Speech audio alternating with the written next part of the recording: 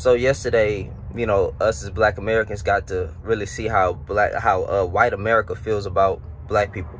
They feel as if, um, you know, if there's not a, if, if there's, even if there's so many holes in a case, right, and there's not enough evidence to to uh give you the that should warrant the death penalty, and then new evidence come to light, they still will yeet your black behind because that's what that's what these people with a lineage of evil love doing. They love listen. America loves killing black folks. Point blank. Period. Whether you're innocent or guilty. Oh, Shandy, you race baiting? No, I'm not. No, I'm not. All them people that's that's that signed what what the petition. Man, been appealing for years. The prosecutor don't want to um don't want the death penalty. The the jurors who found him guilty don't want the death penalty. And the uh the, the, the victim's family members don't want the death penalty. And they still yeeted yeeted him because they wanted to yeet him. Now I'm and I'm I'm a full I'm in full support of the death penalty, especially like listen if you if you grape, I just put a G in part in, in front of the R because I don't know you know if, if they gonna get mad at me for saying that word, but if you if you take a um a man's manhood or if you take a woman's womanhood, right? You you deserve to to I be I, I believe to be yeeted off the face of the planet. If you mess with children, you deserve to be yeeted off the face of the planet. But if there's not enough evidence and new evidence come to light, there should be a way to come to a halt and say, hold on, wait a minute, this this ain't right. The moral aspect of it because now, if you like, it, it, you know, I could say that you know, now innocent blood is on America's hand. But when, when has America not been innocent? America is guilty on everything. America is a big gang. White America specifically is a big gang. They they take lives, they exploit. Look at the history. Nothing about American history was built without bloodshed of other people even in even in our, in the textbooks that we read about these white white heroes, right? How you discover a land that somebody was already living on. Just dumb, just dumb. I'm, you know, it's a, it's a whole. I could go deep with it. I could go very deep with it. But the truth of the matter is, America loves taking the lives of innocent people, white America specifically.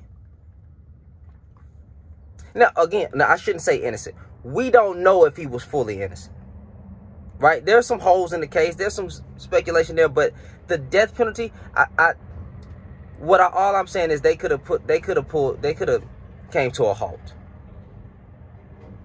They could have, but they didn't want to because he's black. If you're black, you're guilty. Point blank, period. You was around the crime, you're probably guilty of the crime. And then what is this about? And then what is this about a a, a black a black boy um couldn't even a, black teenager couldn't be somebody a black person couldn't be part of the trial because he was a black man with glasses. I mean, he couldn't be part of the juror, jurors because he was a black man with glasses. If I'm not mistaken, I could be wrong, but I saw a picture of Marcellus Williams wearing glasses. Is it because that the black boy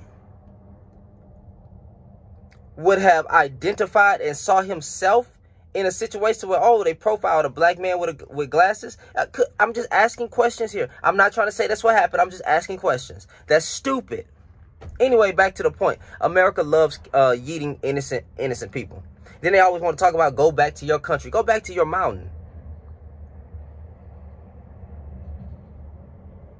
That's what they love to say. Go back to your country. Man my people fought to be here my people, my people fought to be here. This just as much. This land is just as much black folks as it is the uh, Caucasians. But more, but more, more of the, more of uh, any of that. You know, it's it's more of the Native Americans' land. L listen, you want black folks to leave and go back to their country? Then y'all, then Caucasians, pack up your stuff and go back to your country, and then give the natives back their land. Period. Black folks, what is it gonna take?